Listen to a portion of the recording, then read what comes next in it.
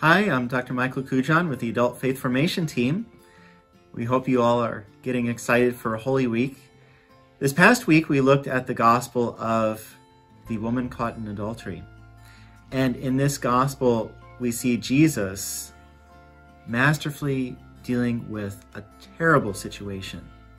And he invites us to walk with him that we too can make a positive difference.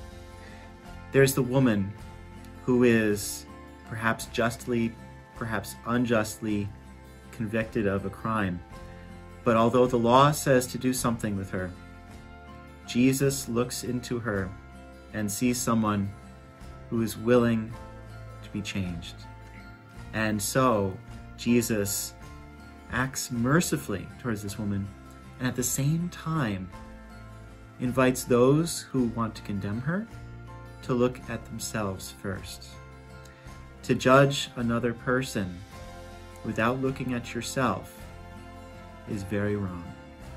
Jesus looks to the heart of the person, not simply the actions they do.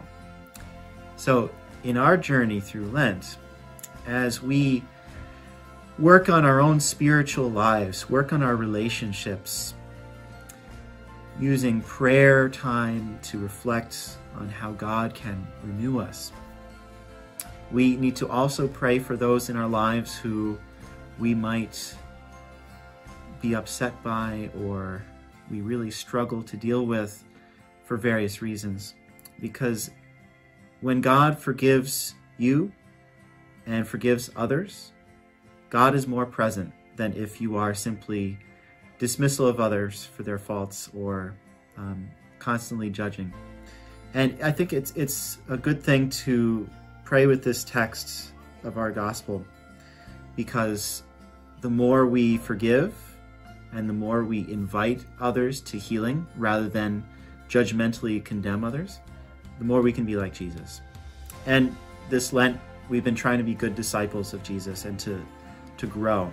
It's important at times to reflect on what we've done wrong to attend the sacrament of reconciliation, to make a daily examination of conscience, to see what's wrong in our own lives that needs healing.